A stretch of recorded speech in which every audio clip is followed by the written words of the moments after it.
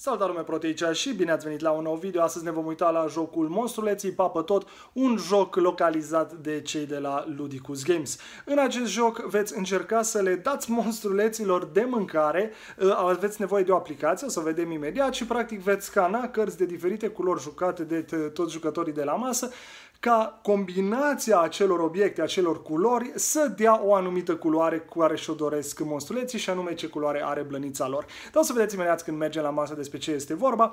După cum auziți, este vorba despre un joc pentru copii, are un grad de dificultate și o vârstă recomandată de 6+, este pentru 2-4 jucători și durează undeva la 20 de minute partida. Dar bineînțeles există modul campanie, o să vedeți imediat, care bineînțeles durează mai mult de, de 20 de minute.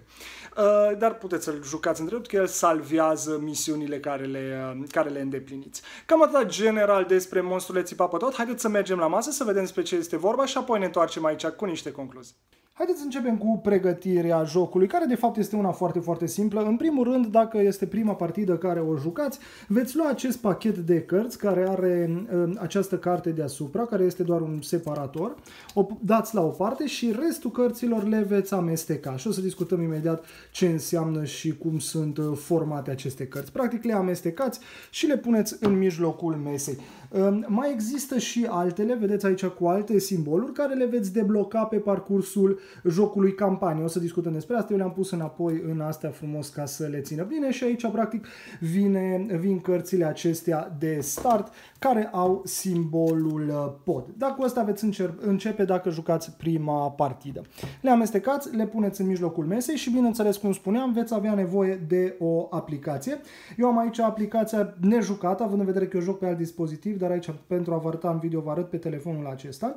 Și după ce aveți aplicația, aveți amestecate toate cărțile de, uh, de start, practic jocul este gata să înceapă. Acum, haideți să vedem cum se joacă jocul. În primul și în primul rând veți alege ce vreți să jucați. Dacă vreți modul story, um, adică practic treceți printr-o poveste, aveți diferite misiuni de îndeplinit și veți merge mai departe, veți debloca diferite alte locații și cărți și așa mai departe.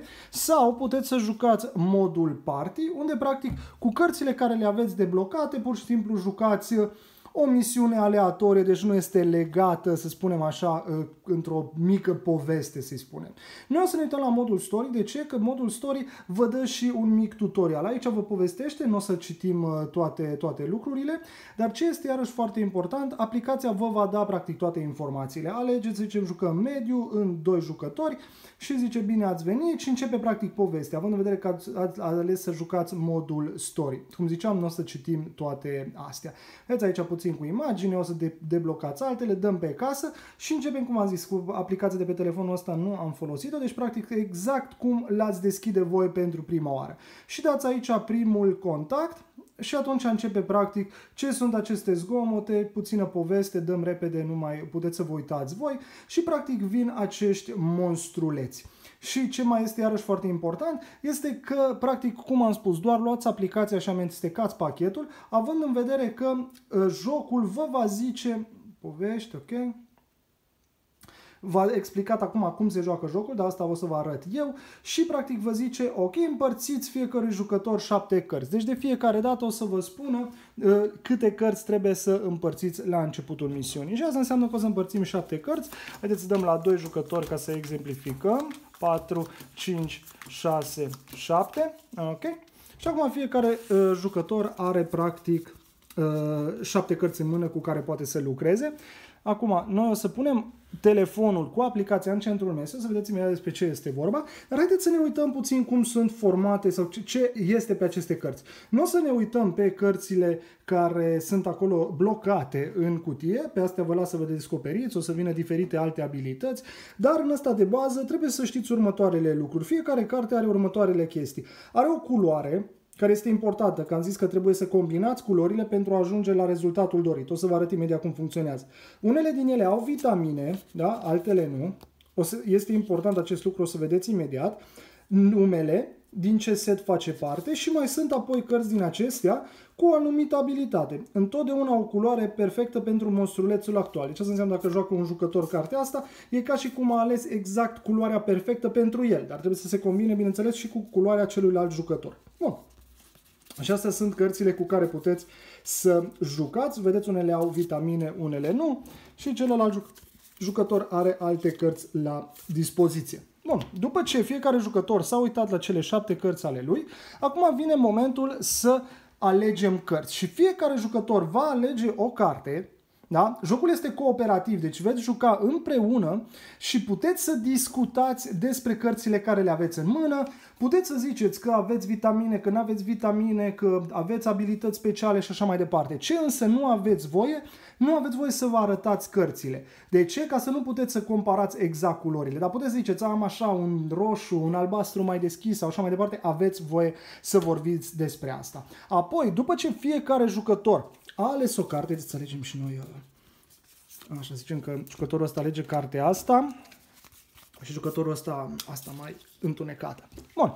Și după ce ambii jucători au ales o carte, vom scana cărțile respective. Și cum se întâmplă acest lucru? Pur și simplu mergem deasupra uh, camerei și ați văzut ori mers pantalonii la monstruleț în gură Ok, deci vedeți doi jucători, o carte am jucat-o deja, asta se pune deoparte și atunci celălalt jucător scanează această carte, o aruncăm, o decartăm, o să vă zic imediat ce înseamnă aia cu vitamina și acum o să verificăm cât de aproape suntem, mai să vă arăt, de culoarea aleasă, culoarea necesară. Și culoarea necesară este culoarea monstrulețului. Și acum vedem câte stele am făcut. Una, două, aproape trei stele cu o combinație acestor două cărți. Așa și practic monstrulețul ăsta pleacă și vine altul. Acum, fiecare jucător, ați văzut, a scris, nu uitați, discutați, deci o să vă povestească diferite lucruri. Acum, de fiecare dată după ce ați reușit să rezolvați un monstruleț, fiecare jucător trage o carte, vă și zice aplicația. Acum, unele chestii care mai trebuie să le luați în considerare. Observați aici, acum a apărut această bară cu vitamine tăiate. Asta ce înseamnă? Monstruleții ăștia nu vor să mănânce vitamine. Dar noi am dat o vitamină monstrulețului dinainte, având în vedere că ne trebuia culoarea asta ca să reușim să facem cât mai apropiat. Acum, practic, asta ce înseamnă? Este că în următoarele trei cărți jucate, da, sau scanate, n-are voie să fie o vitamină. Deci jucătorul ăsta acum când alege o carte, n-are voie sub nicio formă, el nici nu are nici măcar o vitamină, zicem, deci jucăm albastrul ăsta și următorul jucător, Așa, nici nu are nimic ce poate să ajute, poate marou ăsta. Dar sub nicio formă nu are voie să joace o vitamină. Dacă joacă o vitamină, se termină, pierdeți cum ar veni și trebuie să începeți misiunea de la început. Deci următoarele trei cărți jucate nu au voie să fie vitamină. Haideți să vedem, zicem că noi mergem cu asta, cu abilitatea specială. Da? Și acum mergem, scanăm iară, scanează primul jucător și vedeți, a scăzut cu o carte, cum ar veni. Scanează și celălalt jucător, Asta are culoarea perfectă, deci mai o carte care trebuie scanată nu are voie să fie, uh, cum să zic, nu are voie să fie vitamină. Și asta ce înseamnă? Înseamnă că acum când ne încercăm să rezolvăm următorul monstruleț, trebuie să vedeți ca primul jucător care scanează o carte, fiindcă nu sunteți obligați să scanați într-o anumită ordine, deci în ce ordine vreți voi, puteți să ziceți, voi vedeți că eu pun o vitamină, deci cineva fără vitamină să scaneze primul. Și atunci, practic, mai o carte din uh, cărțile jucate pentru acest monstruleț trebuie să nu fie vitamină și atunci practic ați resetat și puteți să jucați iarăși vitamină ca să, uh, și să nu pierdeți uh, runda respectivă și să nu trebuiască să începeți de la început. Acum, vedeți, deci noi practic urmărim să facem acest verde. Ia să vedem ce se întâmplă dacă jucăm ceva complet neverde. Ia să facem așa. Așa, deci un jucător a jucat asta, zicem că a încercat el ceva, și un jucător, vedeți, am scanat ceva fără vitamine, a, a dispărut barometrul. Acum, dacă aș folosi o carte cu vitamină, nu aș pierde jocul. Sau nu am pierde jocul. Așa, și am dat astea două cărți la monstruleț, zice aici, și acum verifică dacă am reușit să facem culoarea care și-o dorea el, adică acel verde. Nu ne-a prea ieșit, ne-a ieșit roz, practic 61% nu prea a fost, a fost puțin în direcția aia, dar nu chiar și practic o nu arată practic că am pierdut această tură și trebuie să începem de la început. Iarăși amestecăm cărțile, fiecare ia 7.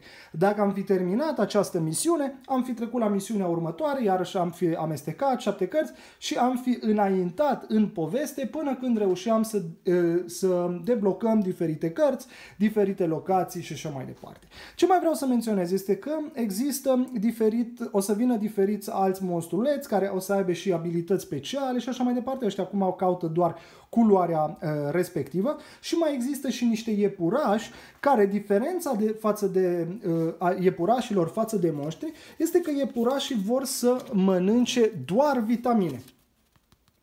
Deci la iepuraș nu contează dacă uh, ce, ce culoare au cărțile. Pentru ei contează doar să fie cărți cu vitamine. Și aici iarăși trebuie să aveți grijă când vin iepurașii că dacă cineva nu poate să joace o carte cu vitamină, ați pierdut și trebuie să începeți de la început. Deci, practic, cu monstruleții nu le plac vitaminele, dar acceptă așa una din când în când, Iepurașii acceptă doar vitamine și dacă le dați cărți fără vitamine sau obiecte fără vitamine, o să pierdeți acea rundă și trebuie să începeți de la început. Și tot așa, ă, reamestecați cărțile când începeți o misiune nouă, după fiecare monstruleț trageți o carte ca să aveți întotdeauna șapte la dispoziție. Și tot așa jucați, hrăniți monstruleții, hrăniți monstruleții, până când ajungeți cât mai departe în, uh, în misiunea respectivă. Deci nu uitați, practic, să aveți grijă să nu scanați din greșeală, că odată scanat nu puteți să dați uh, înapoi și respectiv în, în momentul când trebuie să hrăniți un monstruleț, Puteți să vorbiți deschis, numai nu aveți voie să vă arătați cărțile și fiecare jucător alege o carte și după aia le scanați în ce ordine vreți voi. Dar trebuie să le scanați pe toate cărțile, adică fiecare jucător să joace o carte, nu puteți să scanați doar două sau așa. Dar și după ce alegeți numărul de jucători, nici măcar nu calculează până nu fiecare jucător a jucat o, o carte. Acum că ați văzut despre ce este vorba în jocul Monstruleții Papătot, aștept întrebările și părerile voastre mai jos în comentarii. Din punctul meu de vedere, este un joc interesant și dacă ați urmărit uh, canalul, ați observat că mai există un joc localizat uh, de cei de la Ludicus Games pe aceeași idee, doar este pentru, uh, pentru să zicem, copii mai mari, având în vedere că dificultatea, se întâmplă puțin mai multe lucruri acolo și anume vorbim despre uh, Rahat Rusesc, un joc, puteți căuta video aici, este pe același concept concept, toată lumea joacă cărți și trebuie combinația dintre ele să iasă o anumită culoare. Numai acela este mai, mai dificil, sunt culori mai vagi, mai greu de, uh, de creat, să spunem așa, sunt mai multe abilități pe cărți, trebuie să aveți grijă de toxicitate și așa mai departe. Deci este puțin, uh, se întâmplă puțin mai multe lucruri, trebuie să fiți, la, uh, să fiți atenți la mai multe. Aici, aceasta este varianta pentru copii și eu zic că funcționează foarte bine și este foarte distractiv, având în vedere că copiii, una la mână, are un element educativ educativ învață ce culoare combinată cu ce culoare dă o anumită culoare sau dă în direcția unei anumite culori. Pe lângă asta ă, ă, este și distractiv, având în vedere elementul acel de aplicație, monstruleții sunt, ă, sunt simpatici, sunt și diferite obiecte care putem și acelea să zicem că putem să le folosim ca și ceva educativ, copilul învățând obiectele respective, scrie și cum se numește obiectivul, obiectul, nu obiectivul, deci poate să învețe să și citească, să zicem, dar ideea jocului este în principiu în a combina diferite culori și a da o cât mai aproape de culoarea Uh, cerut. Deci este un lucru foarte distractiv, mai ales că sunt animațiile, sunt monstruleții și, într-adevăr, nu toată lumea este fan de a folosi o aplicație în board games, dar este doar o chestie de scanat. Nu îl aveți tot timpul în fața nasului, telefonul sau tableta este în mijlocul mesei și doar scanați cărțile care le-ați jucat și uh, este nevoie de aplicație pentru a da rezultatul acelor combinații de culori. Bineînțeles, dacă ar trebui să jucați fără aplicație, ar fi destul de greu să definiți cât la sută din acea culoare, câte steluțe uh, câștigați. Dar eu spun că este un joc